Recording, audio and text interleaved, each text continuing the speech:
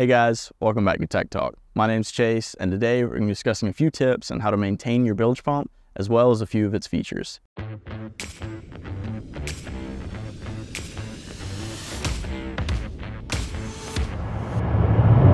right guys, so this is a Rule 1100 gallon per hour pump. We install these in all of our boats. Some models will get one, others will get two.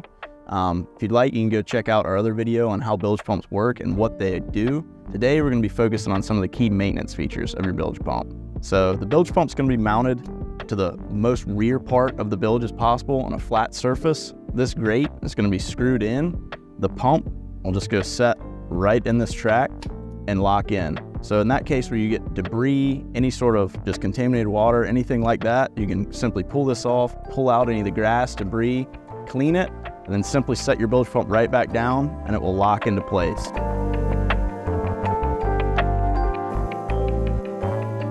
So on the rear of the bilge pump, you'll notice this piece of protruded plastic. It'll go all the way down flush to the bottom of the grate. This is actually an internal sensor. So as the water rises and gets to two inches, it will automatically kick on, receiving the water all the way down to 5 eighths inches. Once it gets to 5 eighths, the pump will kick off. If for some reason you get debris in there and it rest on the sensor to where it thinks it's got water all the way up to that part, it will kick on and it will go into a backup feature to where it will only run for two and a half minutes and then it will kick off for two and a half minutes, thus not burning up the pump, running continuously, and also putting less stress on your batteries.